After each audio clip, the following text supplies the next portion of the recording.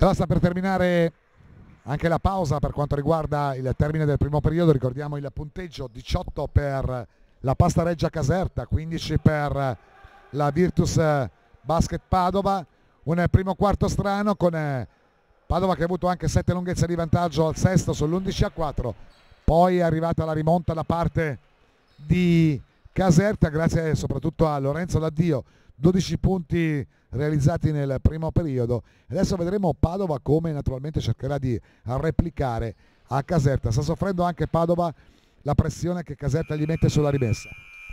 Sì, Caserta ha allungato la difesa, eh, pressione, pressione fin, eh, fin, dalla rimessa. Eh, per il momento Padova eh, sta soffrendo perché si sta accontentando, di tiri che Caserta comunque sia eh, concede, tiri dalla lunga e la palla non sta entrando. Quindi sicuramente il coach avrà, avrà, puntato il dito su questo, cercando di mantenere un po' più la calma e di cercare conclusioni con una più alta, più alta percentuale, perché difese così pressi invogliano, soprattutto a questa età, a prendere tiri appena uno è libero, invece magari con una costruzione migliore si riescono a trovare dei canestri e dei punti più facili.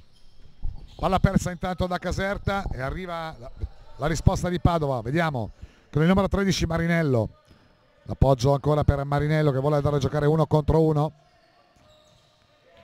Opta per un passaggio all'interno del pitturato. Tre secondi, c'è un tentativo da tre punti che non va. E il rimbalzo è controllato la Caserta dal numero 23 Alessio Campanile.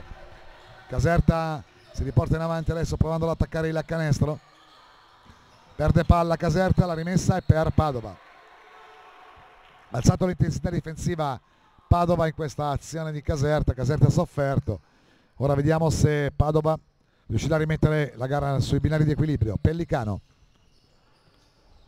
per uh, Pezzolo che sbaglia, però stavolta è sfortunatissimo. Parte Caserta con uh, Daddio, anzi con uh, Aldi. Ancora Murato il tentativo di, penetrazione. Corre Padova, prova a farlo e stavolta ha ragione Padova anche se ha rischiato tantissimo il canestro è di Nicolò Pellicano quarto punto meno uno Padova. 18-17 Caserta insiste per eh, attaccare il pitturato pallone sporcato lo recupera Aldi. Vuole attaccare uno contro uno Aldi va a scaricare poi per questo tentativo non facile infatti c'è l'errore da parte di Caserta dall'altra parte corre Padova che va a realizzare un bel canestro con Croccolo situazione cambiata nel giro di pochi istanti 4-0 di parziale più uno Padova 19-18 sì, eh, Padova ha iniziato come Caserta aveva finito, ovvero con una difesa forte e, e contropiede. Eh, dopo due tiri da tre eh, cercati all'inizio, eh, con degli errori, si è affidata a due lay-up che l'hanno portata, che l'hanno portata in, eh, in vantaggio. Ecco. Infatti vediamo che chi aumenta il livello di intensità in difesa poi alla fine eh, viene sempre premiato da, da, da, canestri, da, canestri, facili. Adesso vediamo come risponderà Caserta a questa, a questa, a questa pressione iniziale di, di Padova. Dato due tiri liberi per Caserta, se ne incarica Dario Alessandrini. Sbaglia il primo. Sempre più uno Padova 19-18. Secondo tentativo. Errore anche sul secondo tentativo rimbalzo controllato da Padova pallone affidato a Baragnolo. O Baragnolo. Lui che attacca. È tornato in campo Guevarra da tre punti ci prova e sbaglia. Padova con il numero 16 Pezzolo si lotta a rimbalzo. Caserta esce con il pallone può attaccare adesso la difesa che non è stierata ci prova da tre punti Caserta l'errore da parte di Campanile. Ma recupera il pallone ancora da Dio Aldi uno contro uno. Lo scarico ancora per Daddio. Va Daddio ad attaccare chiuso. Però deve ricominciare tutto da capo. Due secondi due secondi. Scadono i 24 secondi. Palla persa dalla pasta reggia a Caserta. La rimessa per uh, Basket Virtus Padova. Cambio per Caserta esce con il numero 23 Campanile.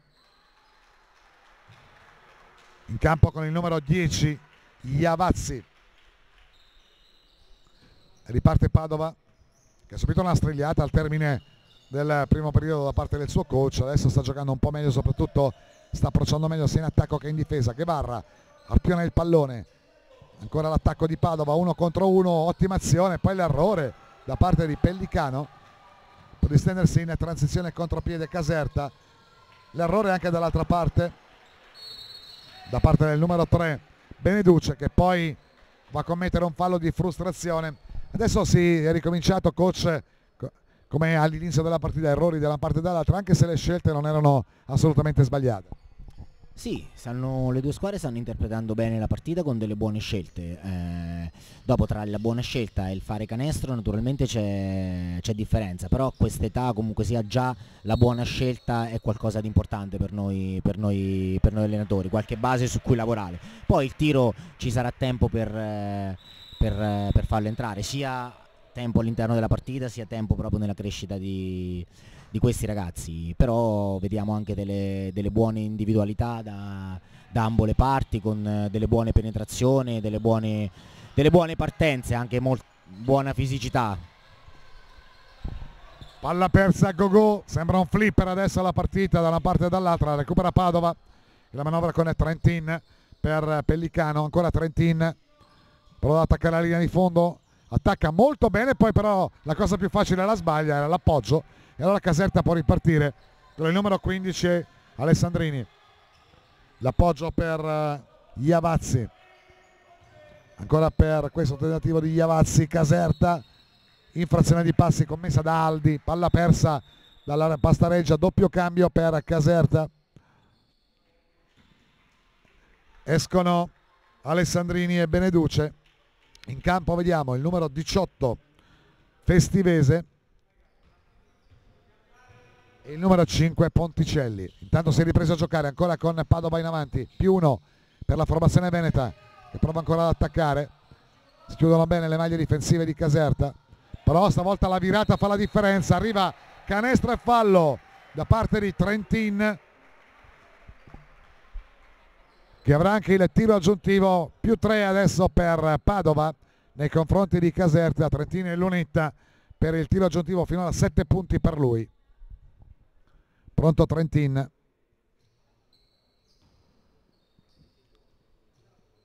Primo libero. Anzi, è l'aggiuntivo. Va segno Trentin. Ottavo punto. Più 4 adesso per eh, Padova, 22-18.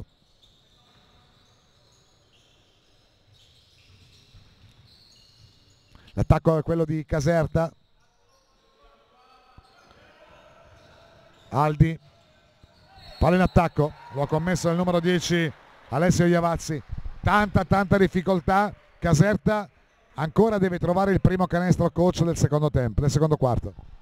Sì, Padova eh, effettivamente sta difendendo molto, molto bene anche in quest'ultima azione, abbiamo visto un'ottima chiusura della penetrazione centrale e, e, quindi un giusto sfondamento fischiato, fischiato dall'arbitro all'attacco.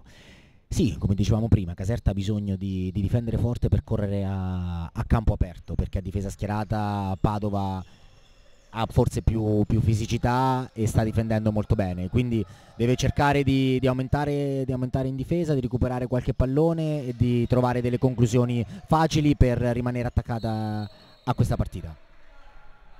Tanto terzo fallo per quanto riguarda Alessio Iavazzi, errore in attacco da parte di Garrett Malveda Guevara per quanto riguarda Guevara per quanto riguarda Padova. Punteggio 22 Padova 18 Pastareggia Caserta Aldi.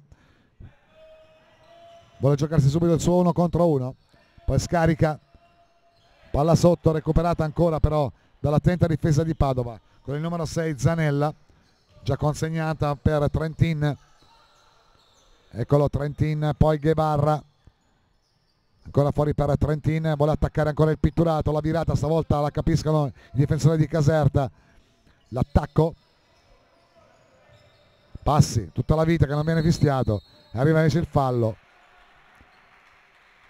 Forse un'infrazione di passi coach non fischiata. Da qui, da qui sembrava proprio così eh, ha fatto un arresto a due tempi poi passo e tiro è sembrata un'infrazione di passi. Eh, vediamo che comunque sia eh, Caserta, nonostante le difficoltà in attacco, sta chiudendo, sta chiudendo bene l'aria, quindi impedendo eh, situazioni e penetrazioni facili a Padova e soprattutto non permettendo a Padova di, di scappare via. Infatti nonostante 5 minuti Padova non, non ha subito un canestro, vediamo che Padova è solo più più 4, quindi se Caserta sta trovando difficoltà in attacco, in difesa invece sta chiudendo bene, bene l'aria, costringendo Padova a più di una penetrazione e a, qualche tiro, e a qualche tiro forzato. Quindi vediamo se adesso Caserta riuscirà a sbloccarsi anche in attacco per ritornare, per ritornare in partita. Intanto è arrivato il fallo della difesa di Padova, il parziale di 7 a 0 in questo secondo quarto favorevole a Padova ma soprattutto Caserta deve trovare ancora il primo canestro di questo secondo periodo.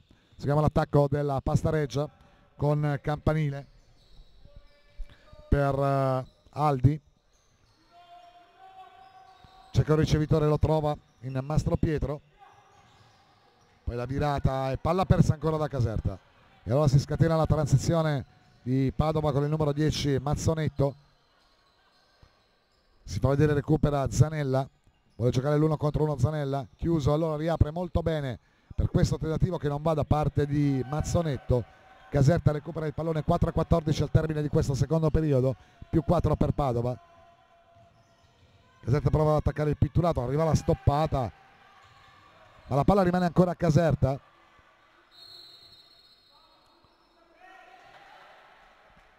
Ha calpestato la riga ha calpestato la riga di demarcazione del campo e quindi palla persa ancora dalla Reggia Caserta basta Reggia Caserta. Rimessa per uh, quanto riguarda Padova ma tutto questo arriverà dopo il minuto di sospensione. Coach Caserta non segna uh, Padova con il contagocce la partita rimane aperta. Sì, infatti come ho detto in, in precedenza, eh, Caserta sta trovando difficoltà in attacco, ma anche, ma anche Padova comunque sia fatto 7 punti in questo quarto, quindi Caserta sta reggendo a livello, a livello difensivo, sta chiudendo bene l'aria, quindi sta costringendo eh, Padova a, a, dei tiri probabilmente non, non consueti per, eh, per, per, la squadra, per, la squadra, veneta. Eh, punteggio basso fino, fino, adesso, quindi basta un, uh, un, canestro, una palla recuperata, un contropiede per per, eh, per ritornare e riaprire definitivamente, definitivamente questa, questa, partita.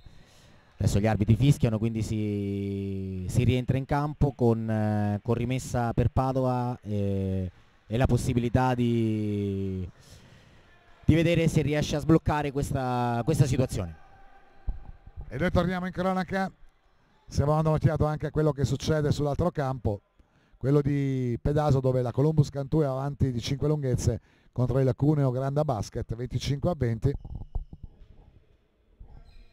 si riprende a giocare con la rimessa per eh, la Virtus Basket Padova. 4 minuti e un secondo al riposo lungo.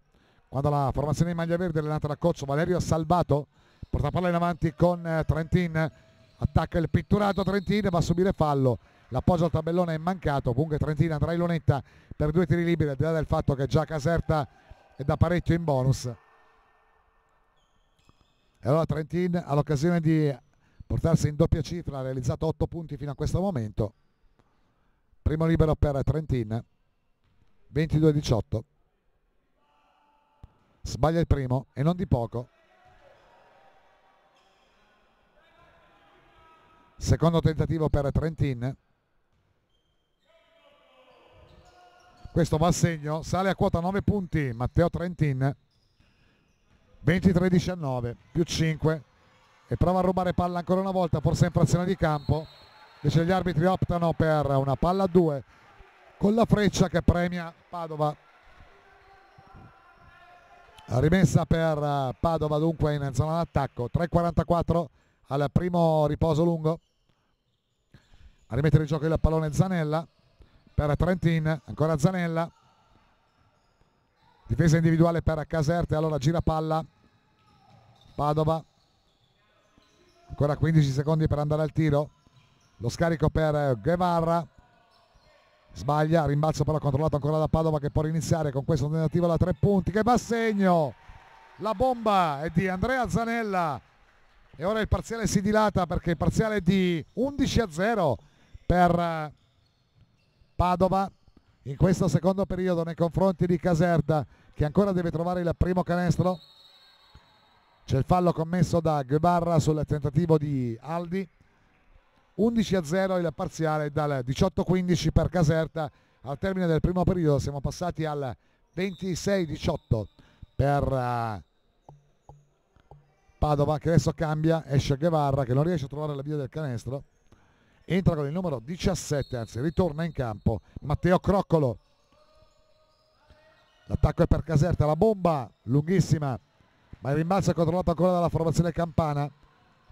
L'ultimo tocco è stato di Mazzonetto rimessa per la Pastareggia Caserta 2.59 al termine del primo periodo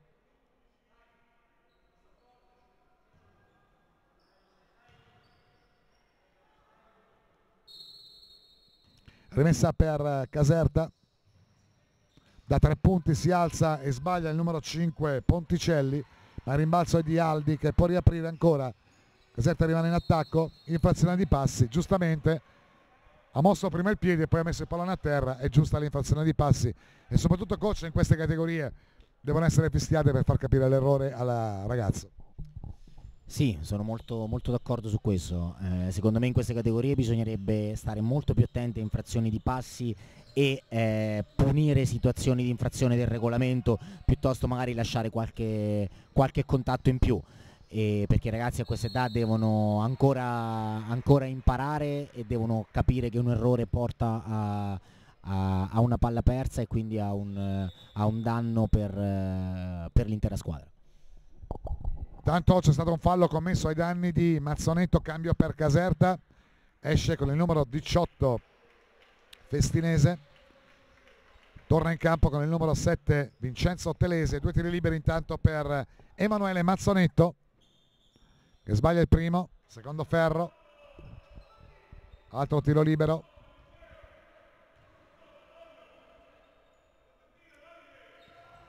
Sbaglia anche il secondo, è chiaro che della lunetta troppi errori da una parte e dall'altra. Più 8 per eh, Padova. Da tre punti sbaglia Caserta. Rimbalzo però controllato dalla formazione Campana che può operare un altro attacco. Lo lavora il pallone Mastro Pietro. Ancora per Aldi. Uno contro uno di Aldi. Sbaglia ancora Aldi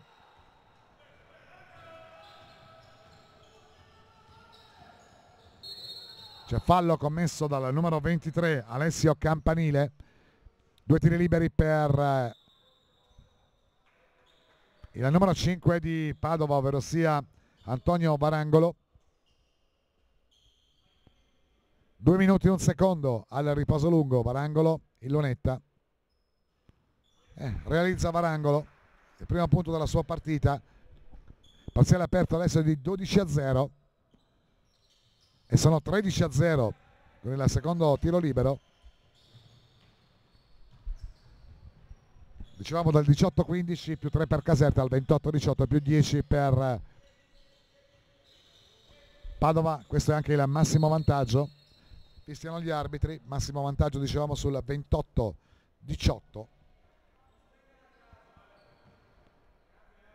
più 10 per la formazione veneta adesso fallo commesso dalla difesa in maglia verde che entra in bonus. A 1.49 dalla riposo lungo rimessa in zona d'attacco per Caserta già effettuata.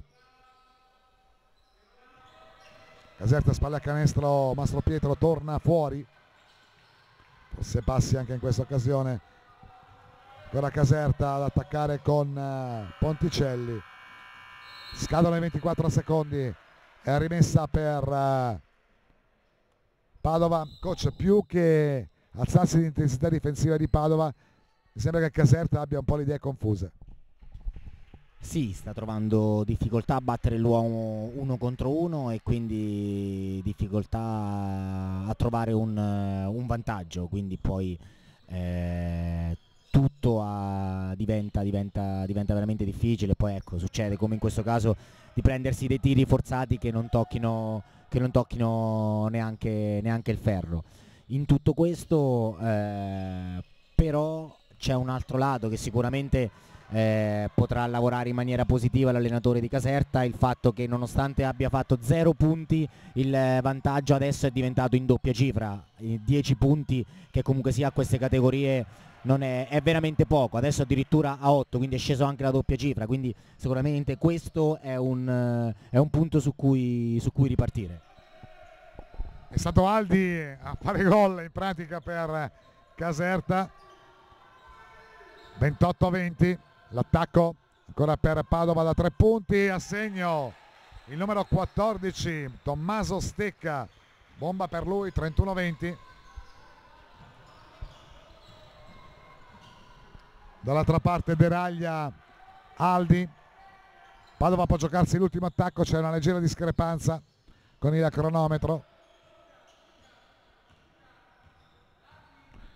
E gioca Baragnolo 8 secondi. Il tentativo di penetrazione scarico Baragnolo recupera il pallone poi Caserta può giocare ancora 3 secondi 2 secondi. Bisogna andare al tiro Aldi lo fa. Pallone che però non arriva al ferro finisce anche il secondo periodo punteggio.